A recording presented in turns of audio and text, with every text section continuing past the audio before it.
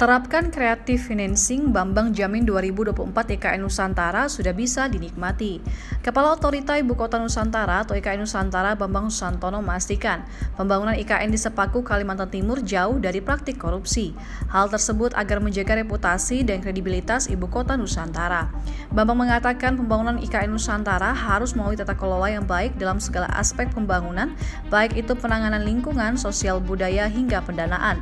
Hal tersebut agar menekan cost of money dari biaya risiko, biaya reputasi, hingga biaya-biaya lainnya.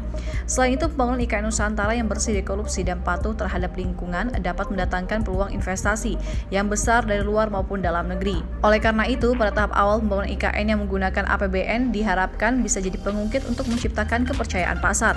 Selanjutnya, kata Bambang, pemerintah bakal menarik investasi melalui metode creative financing yang baru seperti municipal bond, SDG bond, ataupun green bond. Sementara itu, Direktur Gratifikasi dan Pelayanan Publik Komisi Pemberantasan Korupsi Kunto Aryawan mengatakan pihaknya akan mengawal pembangunan IKN Nusantara dalam empat hal yakni analisis regulasi, pendampingan pengadaan barang dan jasa, pendanaan, dan pendampingan terkait proses pengalihan aset-aset yang ada di Jakarta untuk mendukung pendanaan IKN Nusantara. Terima kasih sudah nonton.